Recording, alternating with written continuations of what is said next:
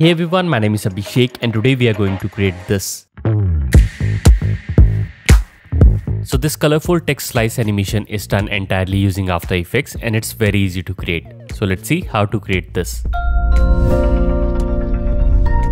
Alright, so right now I'm in After Effects and we'll begin by creating a new composition. Let's call this one main. Width and height will be 1920 by 1080 and frame rate 30 fps. Duration you can pick whatever you want. Just click on OK. Now first we are going to create our background. So right click new and let's create a solid. Now color it's completely up to you can pick whatever you want but I'm going to pick this one. Just click on OK. So here we have our background.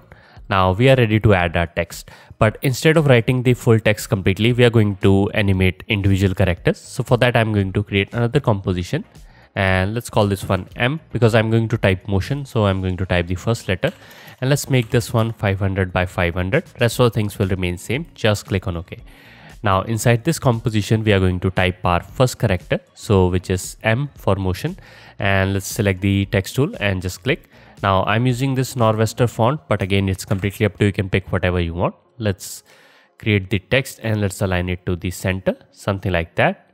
If you want, you can move its anchor point to the center using the script or you can just simply select the layer, hold on the control key and double click on this so here we have our text. Now I'm going to press S and let's scale this up to something like let's say 150. Now I'm going to split this into two parts. So for that I'm going to select the pen tool. Make sure that the layer is selected. Now first click on this endpoint, something like this. After that just click on over here. Now you can just simply create a shape like this so that it will cut out this portion using a mask. Now I want the other part as well. So for that, I'm going to select this layer, press Ctrl D and let's press M for mask properties. And instead of add, we can use the subtract to get the other part. Now you will notice that we will have this sort of line. Now in order to fix this, all you have to do is just simply select this and hold on shift key and select this point. Now just play around with the position little bit of these and you can see that now we have got rid of this slide Perfect. So we have our character. Now our next step is to animate its position. So for that I'm going to select both of these layers and let's probably zoom in and I'm going to move somewhere around 20 frames and let's press P for position. Let's add keyframes, go to the very beginning.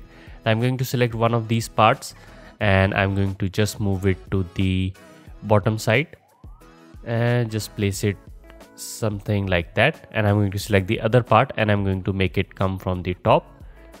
Something like that. So now if i play back you can see we have both of these parts coming in.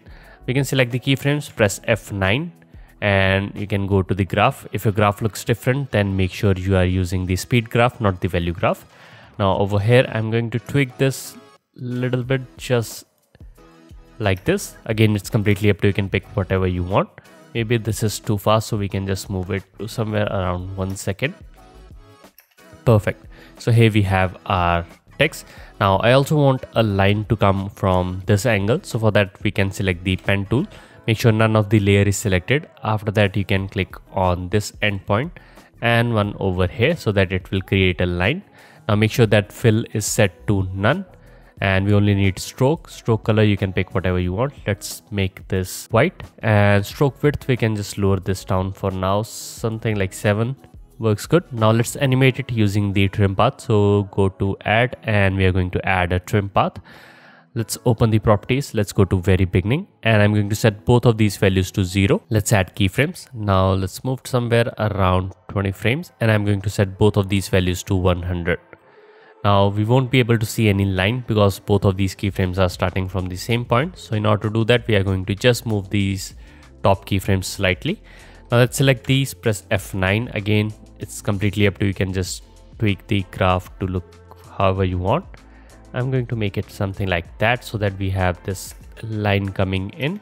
Something like that. Again it's completely up to you. you can just play around with these properties to just have whatever type of look you want and i think i want this to be a little bit longer something like that Perfect. So here we have our line. Now I want one more copy of this. So I'm going to select this, press Ctrl D. And on this one, I'm going to increase its stroke width. And let's probably change its color as well. Let's make this red for now. Let's select this, press U. And over here, we are going to play around with these properties and I'm going to just make this smaller something like this. And I'm going to just add a little bit of delay. Something like that. Perfect. So here we have everything. Now we can add colors to this. So let's select this one and let's search for fill. Let's drag it over here. Again it's completely up to you. Can pick whatever color you want. I'm going to use the colors from this palette. So let's just simply copy this fill and just paste it onto the other layers so we have this and i'm going to just paste it over here as well. Maybe let's make this a little bit lighter so that we can see. Perfect. So here we have our animation. Now we are done with our first character and in the same way we can just animate other characters as well. So let me just quickly do that. So let's select this press ctrl d and I'm going to call this one O. So before we continue, if you enjoy my content and you want to support me, then you can check out my Patreon page. Over there, you will get access to the tutorial project files and some exclusive templates that are available only on Patreon. So if you want to support me, then you can join my Patreon page. Link for that is in the description. So let's continue. And let's open this up by double clicking on it.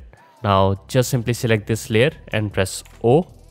And let's select this and press O now we have our second character. Now you can see that again it has the same animations but i wanted to have it at an different angle. So it's actually quite easy. Let's select this press u.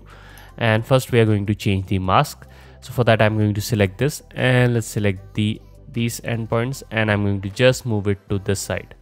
Something like that. Let's select the bottom layer or the top layer. And i'm going to do the same thing so that we have the text revealed. Something like that perfect. So here we have our character. Now let's tweak the animation. So you can see that in the beginning it's moving to this side but instead we can just make it come from this side like that. Let's do the same thing over here as well. So just play around with their positions to however you want. Perfect. So we have our characters coming in. Let's do the same thing with the lines as well. So i'm going to select this and let's select the pen tool now you can just simply click and drag these points. Something like this, you can just simply play around with its position just to make it wherever you want. Let's do the same thing with this one as well. Perfect. So here you can see we have this. Now if I play back, you can see we have already applied all the animations and we have our second character. Now let me just quickly change its color as well. This one I'm going to make this red and just paste it onto the other layers as well like this. So here we have our second character. Now in the same way you can create other characters as well. Let me just quickly do that. Let's select this M, press Ctrl T and over here I'm going to just type T and T over here as well. And let's just simply change its color. So here we have our third character and in the same way you can just keep on doing this and just create all the other characters. So now I have created all the characters and let me just quickly import them. So we have M, now we have all the characters and you can see that now they are just simply at one position and we can quickly change that. So for that I'm going to select the text tool and I'm going to just type the text which we want over here. So I want the motion and let me just quickly align it to the center just to get what we are doing and if you want you can play around with its position as well. Let's scale this up. And let's align it again. Perfect. So this is going to be our final position. And let me just quickly select all of these layers. Press s. And we are going to just scale this down just to match with this. Perfect. So i'm going to just quickly select the first letter which is m. And i'm going to just align it to the left side and after that I'm going to select the last letter which is N and I'm going to align it to the right side. And now we can select the M and hold on the shift key and select the last characters. Now under the align panel we have the distribution option. So if I click over here you can see that we have already distributed all of these. And sometimes you will notice that a couple of these layers are not oriented how we want. If I disable this you can see that we have this and I want it over here. So for that you can just simply press P for position. Let's add a keyframe and we have this O over here. Let's press P for position. Let's add a keyframe. Now just copy its position and just paste it over here and just copy its position and just paste it over here. Now you can probably uncheck the position. So here we have just simply tweak these and now we have all the characters perfect so we can enable the final text once again and I want these to go back to the final position once they have revealed. So I'm going to select everything, press P, let's add a keyframe. Let's move a couple of frames ahead. Now just simply align all of these to these characters. Let me just quickly place this below so that we can see what we are doing and just randomly do that. You don't have to be precise. Just align these to wherever you have these characters Perfect. So we have everything. Now if I play back, you can see first our characters revealed, Then after that, they go back to their original position. You can probably hide the main text and let's just simply play around with the animation. Now I'm going to select all of these, press F9. Let's go to the graph again, up to you, however you want. So I'm going to just make it to look like this now if I play back you can see we have these characters coming in and after that they go back to their original position. Let's play around with their timing. Let's select all the keyframes and let's move them forward. Perfect. So we have our animation. Now there is one more thing that you can do. We can add an adjustment layer. So right click new let's add an adjustment layer. And on this one i'm going to apply a echo effect and let's drag it over here now first thing i'm going to do is change the timing. So i'm going to set this to negative 0.001 and number of echoes i'm going to set this to 60 and under the echo operator uh, instead of add let's set this to maximum. So now you will notice that if i play back now the pre preview will be really slow because we have bunch of different copies over here. Now i don't want this in the beginning so we can probably hide this over here as soon as our characters start moving so somewhere around here we can just reveal this. So now if i play back you can see as our characters are moving in you can see we have this very nice thick outlines which is exactly what we want. So i don't want this to be stay like this so let's pick a point. So somewhere around here we can add a keyframe for opacity and let's move a little bit ahead and i'm going to set this to zero. Now we can split this layer. So hold on the alt key right square bracket and we have this. Perfect. Now we can select all of these and we can pre-compose them. So right click and let's pre-compose. Let's call this text. Uh, Rest of things will remain same. Just click on ok. So here we have our thing. Now i want the background to animate as well. So for that we can just pick a couple of these points. So first i'm going to select this press s and i'm going to just animate the x value. So for that we can uncheck these. And let's pick a point so somewhere around here let's set this to quarter just for now. And let's move to somewhere we have our text and i'm going to set this value to zero. Now you can select the keyframes press f9 again just up to you whatever you want to do with the graph. So i'm going to set this to something like that.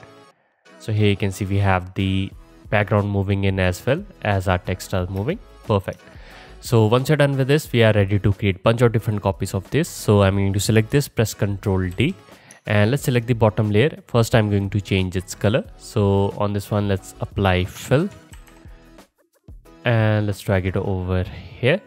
Again, I'm going to just change its color to this yellow. Now in order to make this visible, I'm going to just move this layer one frame behind like that. Now we can select this, press Ctrl D and let's select the bottom layer and I'm going to make this one red. Again in order to make this visible let's move this one frame ahead like that. Now I'm going to select this and press ctrl D at last. And on this layer we don't want the any animation. So I'm going to just go to the very beginning and let's uncheck the scale. And instead of, instead of this I am going to just set this to white like that so if I play back, you can see we have all of these and at last we have our characters. Perfect. Now I want these to change colors as well. So for that we can select the text layer which we have over here and let's press Ctrl D and let's apply fill to this and let's change its color. So I'm going to use this dark color. We can probably set this to full for now and in order to make this appear after the transition we can just simply select one of these layers press ctrl d to duplicate it and let's place this on top of this layer. Now we can select this and i'm going to change its track matte. so just pick whip and just select this top layer. Now if you're using the older versions of after effects then this option will be changed. You will have a drop down which will say track matte alpha inverted and all. So you can just play around with this or you can just upgrade to the newer version. So here we have everything. Now we don't want the track matte we actually want the opposite of it. So i'm going to just click over here. So you can see as this is closing you can see that we have the final text reveal. Something like that. Now it's up to you. You can just play around with its position however you want. You can just add delay to this. Something like this just by moving its timing like that. So here you can see we have our animation perfect. Now i want this to have a little bit of stop motion kind of vibe. So for that we can just simply right click. Let's create a new adjustment layer. And on this one i'm going to apply posterize time. Let's drag it over here. Now if you want to make the timing of this slower or faster you can do this thing. So let's select all of these layers. Right click pre-compose. And let's call this one main animation. Just click on ok and on this layer we can right click go to time enable time remapping. Now just pick a point where the animation stops. So let's say somewhere over here. Let's add a keyframe. Now you can probably delete the last keyframe. So select this. Let's delete it. And now you can just simply move these keyframes further away so that this will make the animation slower. Or you can move these closer to make the animation really fast like this so i'm going to just move it a little bit further away like that. Now i'm going to play around with the posterize time as well. So instead of 12 uh, instead of 24 i'm going to set this to 12 so now if i play back you can see we have this very nice stop motion kind of animation. And there's one more thing that you can do. Let's open this up. And over here we can create a null object. So right click new let's add a null object. Now i'm going to select both of these text layers and let's parent this to the null. Now we can select this press s and let's add a keyframe for scale. Let's move it somewhere around here and in the beginning we can have it something like that. Now select the keyframes press f9 let's go to the graph and i'm going to just set this to like that. Now if i play back you can see we have this very nice scaling down motion. Perfect.